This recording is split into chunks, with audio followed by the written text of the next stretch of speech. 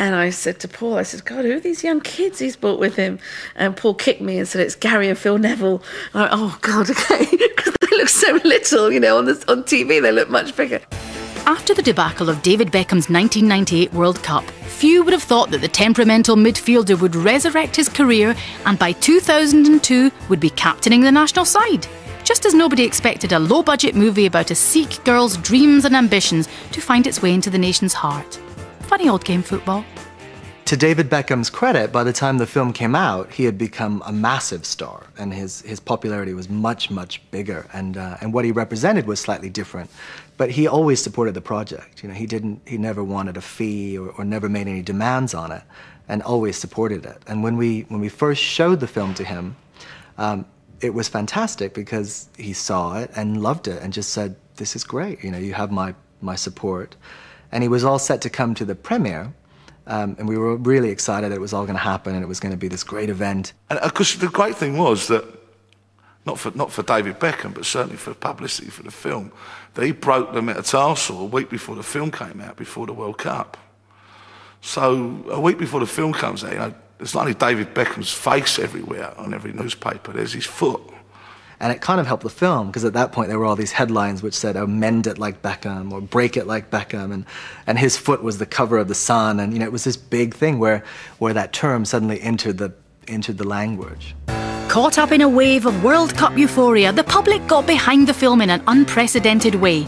The romantic comedy's performance surprised everyone when it opened in 384 cinemas across the country we sat there and watched it, and I just remember at the end of when the, when it finished, I had the biggest grin on my mouth. I couldn't stop smiling, and I remember looking over to Keira and she had the same stupid grin on her face. And I went, okay, we're gonna go to the toilet now. So we went to the toilet, and we're in the toilet, and she went, oh my god. I went, yeah. I went, I think it's good. And I said, I said, I hope everybody else is gonna be smiling like, okay, we think it's good. I think when I was driving my kids to school and I saw it all over the buses, and I thought, my God, that film I made last year with a weird title, you know, that I thought would be a disaster, should definitely change the title, I always thought, wrongly. Um, it's all over the buses, you know. I mean, I'm not often in films that are all over the buses. If Juliet Stevenson found it strange, it became positively surreal for Parminder Nagra. I almost feel like it was a dream because I forget that it happened. But I was awarded uh, FIFA Football Personality of the Year. And I remember Figo and Zidane like looking back at me going, who, who the hell is this? Like getting this Football Personality of the Year.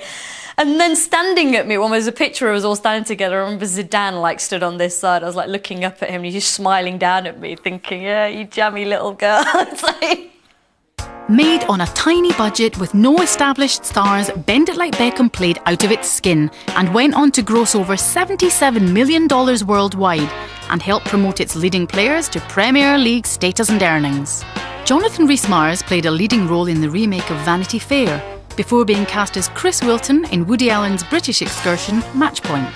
Gurinder Chadha and husband Paul Mayeda Berges didn't have to wait another six years to make Bride and Prejudice, working again with Anupam Kher, who starred with Shaheen Khan in The Mistress of Spices, which Berges directed and co wrote with Chadha.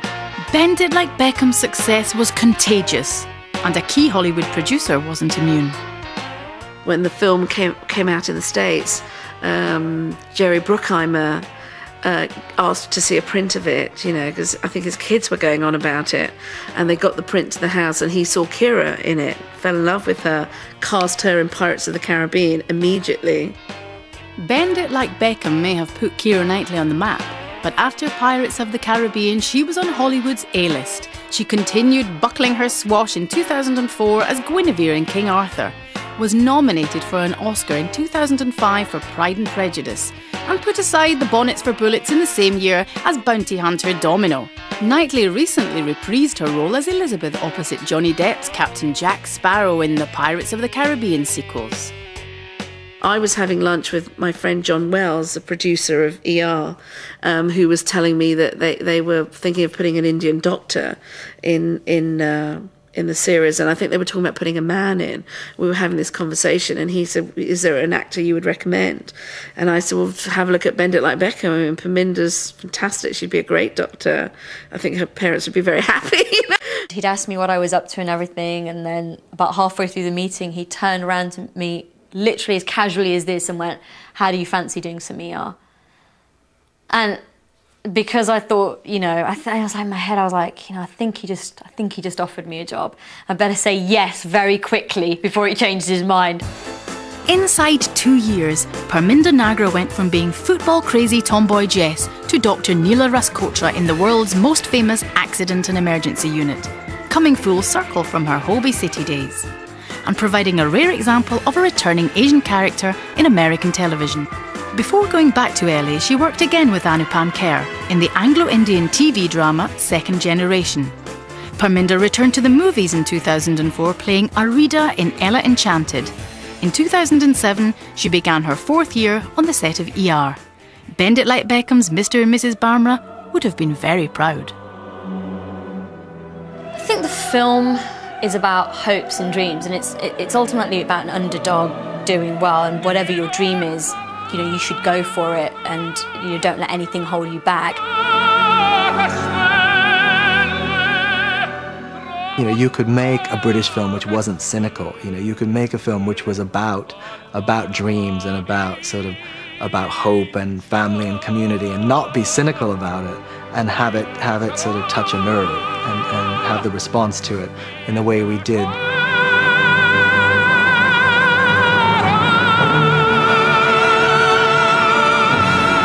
Found a way of articulating the differences between two different generations, regardless of colour or race or whatever. And I think that's why it's such a universal film and why so many people relate to it around the world.